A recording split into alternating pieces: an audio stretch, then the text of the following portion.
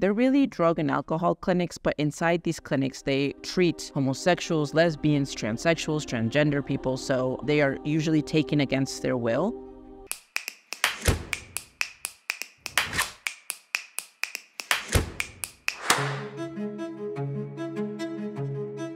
My name is Paola Paredes. I am a visual storyteller, a visual artist, a photographer. I am a queer lesbian woman from Ecuador. My photographic series, Until You Change, is a very complex social subject matter. In Ecuador, there are conversion clinics, unfortunately. They're really drug and alcohol clinics, but inside these clinics, they treat homosexuals, lesbians, transsexuals, transgender people, so they are usually taken against their will. So, Until You Change this is a series of images that talk about and show what goes on inside these clinics. I interviewed a survivor during six months, and with her testimony and three other testimonies, I recreated images of what goes on in these places. These practices are illegal, so there is no way any clinic would have allowed me to go inside and do direct documentation. So I had to find other creative means to, to portray Inside these centers, they have this mentality to cure anything that deviates from Catholic and conservative norm. These places are so hard to close because they're under the disguise of alcohol and drug clinics. Sometimes these clinics are known to have been funded by other evangelical groups in the States and Europe. That's why they're so easy to open and maintain because they can cost from 500 to $1,200 a month. And since they're so lucrative, sometimes they're schemes of corruption. There's also a lot of human rights problems inside these clinics because the people who are there are submitted to torture, being tied down, being hit by wires, being forced to put your hand down the toilet if you didn't clean it well, insomnia, rape. I had to do acting training because we shot it like a movie, and I thought it would be myself a good idea because I am queer, lesbian, and in many times I was afraid to end up in one of these clinics. I felt the need to visually represent it, and that was true because when I published the series, I became viral here in Ecuador and it got so much attention. And I was very much invited to go to these places, like government places, to talk about my research. So that was very important.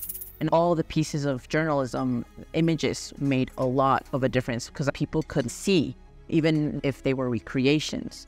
And it opened a lot of discussions. So I think that's like the power behind imagery and photography, which is uh, also one of the, my desires to, to make this series.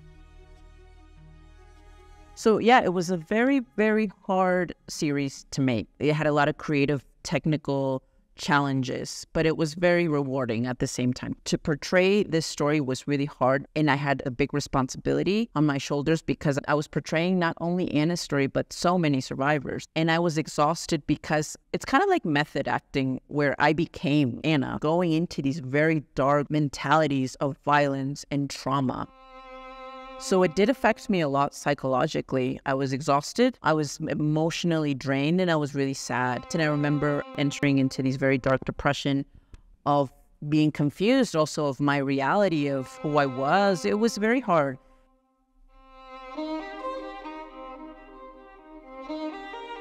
Also, there was so much that I learned from this project that made me a better photographer, a better artist, a better researcher, a better interviewer that have taken me to where I am now.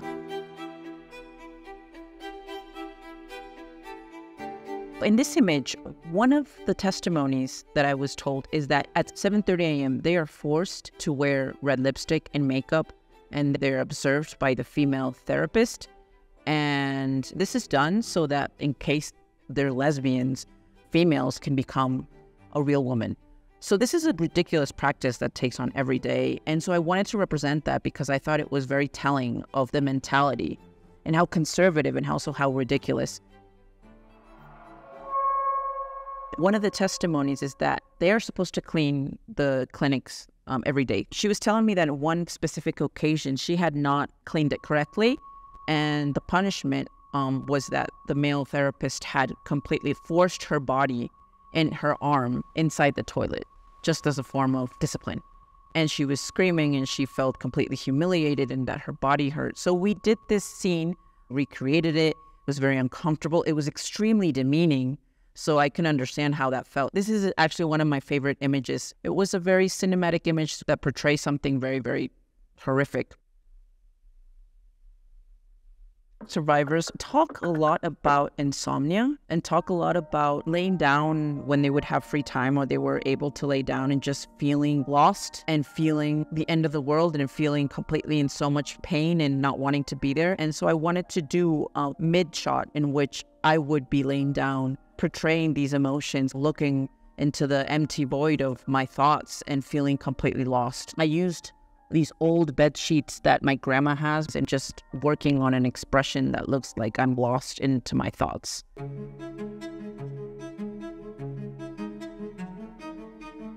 I thought it was impossible to make this project. There were so many problems. But then it became possible and then I managed to do it and had an impact on survivors they said, This is amazing. You really managed to represent what we went through to the point of the horror. So I do think that it had an impact, and I'm always be very, very grateful for that.